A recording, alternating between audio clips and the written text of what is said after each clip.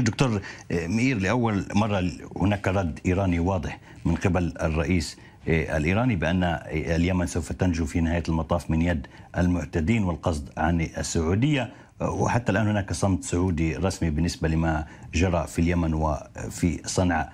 دعنا نقول ما يجري في اليمن هي نقطة الالتقاء بالنسبة للصراع السعودي الإيراني. ويقال بأن ربما علي عبد الله صالح هو الضحية الأولى لذلك. هو ليست نقطة الالتقاء الوحيدة هناك نقاط أخرى. يعني ما حدث في البحرين كان أيضا نقطة التقاء الحرب الأهلية السورية ممكن أيضا أن تعتبر إلى حد ما نقطة في نقطة التقاء ولو يعني في مراحل معينة. في الحقيقة الأمر أنه يجب حتى نفهم ما حدث يجب أن نفهم ما يمثله الرئيس علي عبد الله صالح. يعني بخلاف عن إنه هو غير عبر من معسكر إلى معسكر أكثر من مرة يجب أن نفهم أن هناك بعد تحدثنا عن علاقته بالحوثيين. يجب أن نذكر بأنه منتمي إلى الطائفة الزيدية في اليمن اللي هي طائفة طبعا الحوثيين. اللي يعني محسوبة على الأسرة الشيعية الموسعة. ولو إنها طبعا ليست اثنا عشريه ولكن لذلك هناك من يتساءل ماذا سوف آه. يكون مصير جماعة علي عبد الله صالح؟ صحيح. ولكن البعد القبلي بقى في اليمن أقوى من البعد الطائفي. وهنا بقى الاختلاف بما يعني التفكير ليس تفكيرا طائفيا صرفا في اليمن. وإضافة إلى ذلك هناك بعد عروبي عند علي عبد الله صالح وحزب المؤتمر الذي كان يرأسه.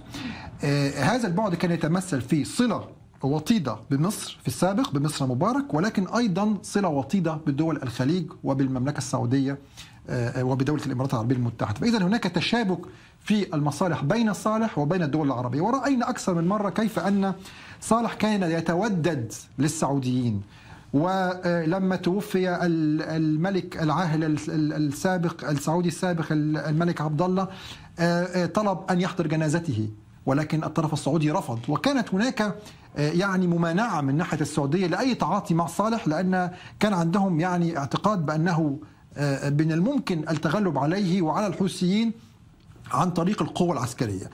التغير اللي حدث قبل أسابيع هو أن الموقف السعودي بدأ يلين.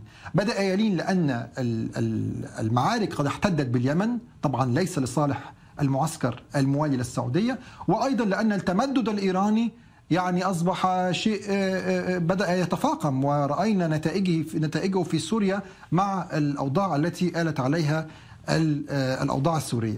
فلكل هذه الأسباب حدث تغير جذري داخل المملكة السعودية وداخل الأسرة الخليجية بشكل عام.